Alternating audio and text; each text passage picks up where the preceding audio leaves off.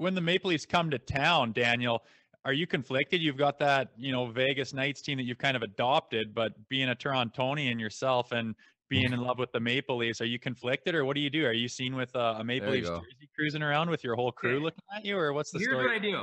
I wear this hat, which is the Leaf hat, and then I'm wearing this right here. I sent him a message as soon as he, as soon as it was officially got the deal. I said, "What's Love number are you going to be?" And he said, "Eight. I got this pre-ordered, and uh, so I wear this with the hat, and I've been doing that ever since they come. And I don't know that I'm conflicted. Obviously, I've lived in Vegas. Frankly, what the Leafs did to me was when they traded Tuukka Rask. That was kind of the last straw for me. I was very upset by that, and I've seen them make a lot of trends towards the right direction. I think Kyle Dubas is doing a good job. Having, unfortunately, I hate Kelly McCrimmon. Like, I don't just dislike him, but I absolutely hate this human being. Like, I will be. I was happy that they moved on from DeBoer because I thought it was unfair. They fired Gallant to replace him.